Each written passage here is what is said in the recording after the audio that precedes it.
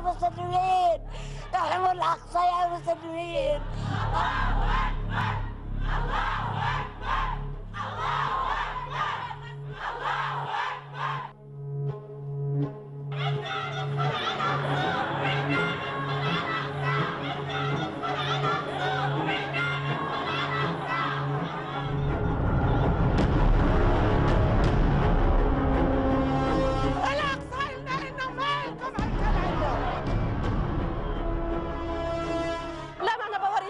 ولا معنا شيء احنا حقنا ندخل على الاقصى زي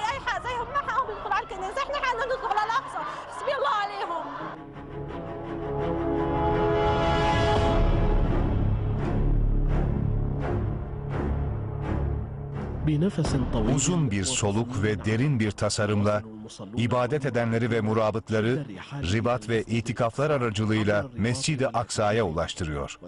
Mescid-i Aksa'yı yerleşim yerlerine yapılan saldırılardan ve özellikle cuma günleri Müslümanları namaz kılmaktan alıkoyan işgal yasalarından koruyan beşeri bir zırh oluşturuyor. تحديد الأعمار هو ما في شك آه، يؤدي إلى التوتر والذين يطالبون بالتهدئة عليهم أن يبتعدوا ويلغوا هذه الإجراءات العدوانية التي تستفز مشاعر المسلمين وتوجد توتر في في الأقصى وفي محيط الأقصى. مقابل هذه الاعتداءات Kudüs ve Filistin halkı bu saldırılara ve inisiyatiflere karşı farklı kuruluşlar aracılığıyla Mescid-i Aksa'ya saldırı seviyesini azaltmak adına onu İsrail'i düşmanlardan korumaya destek veren faaliyet ve projeleri etkinleştirmek için birlik olmaktadır. Bu da Kudüs'ün her yerinden ve Filistin'in içinden Mescid-i Aksa'ya, namazlara, ibadetlere ve Allah'ın kitabını öğrenmeye gelen kadın ve erkeklerin ilk defa ve daimi olarak gerçekleştirdiği ribat faaliyetlerine dayandırılır.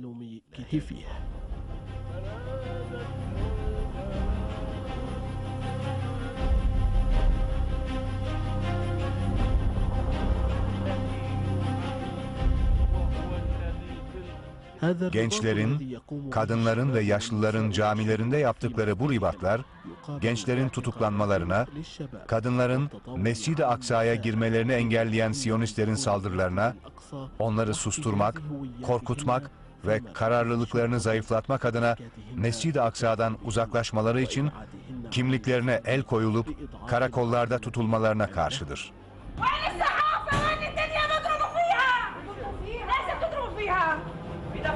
إحنا سامعين صوتها بتضرب تنضرب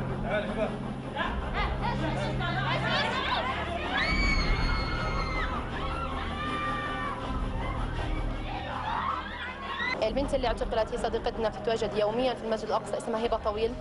هبة طويل في الحقيقة مش أول مرة بيتم الاعتداء عليها يمكن تم اعتداء عليها أكثر من مرة تم اعتقالها مرتين بتهمه التكبير. فبس مجرد إنه سمعت وحدة ثانية عم بتصيح جوا الياها رفضت الموضوع صارت تكبر طلعوا ثلاث ثلاثة شرطة مسكوا هبة ودخلوها على إلياها. صارت تصيح يعني يعني هاي المرة بعرفش يمكن الثالثة ولا الرابعة اللي بيتم اعتقال هبة الطويل أخذوا كنتي عندها خمس أطفال. من كفر قاسم جاي عشان تتضامن على مع أهل الأقصى وتجي عنا. أيوم أخذوها وضربها وضربوها في بطنها. إيه، المجندين. دائما هيك بضربوا النسوان وما بيخلوا بيلطخوا الوحده بالحيط وين ما تجي تيجي.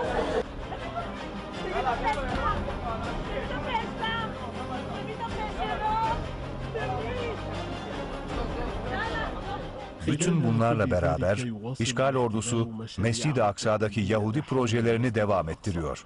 Orası tehlikeli bir iskan bölgesine dönüştürüldü.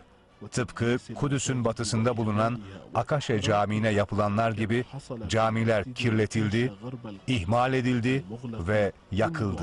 Restorasyonları ve içlerinde namaz kılmak yasaklandı.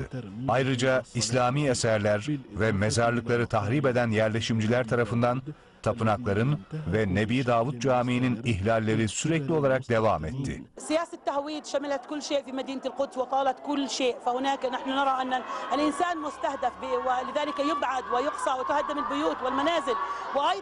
الأشجار تقلع. هناك في ساحة المسجد الأقصى وفي محيط القدس أشجار قلعت.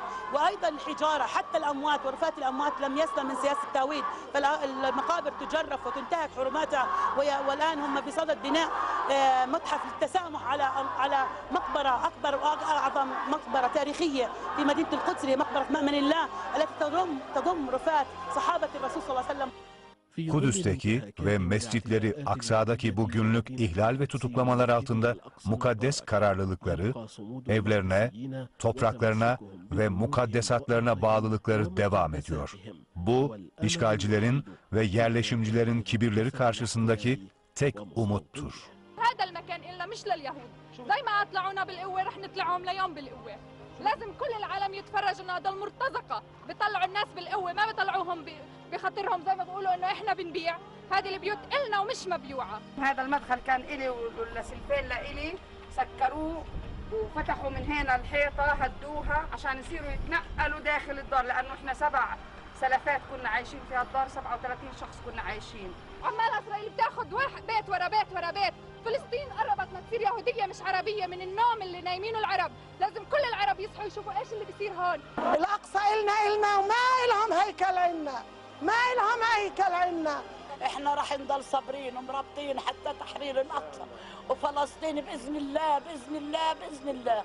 بدهم القدس فشر ولا بياخدوها ولا بنطلع منها. إحنا مرابطين مرابطين مرابطين. لو لو بهدوا الدار كلها بضل حجر نقعد عليه بنضل عليه.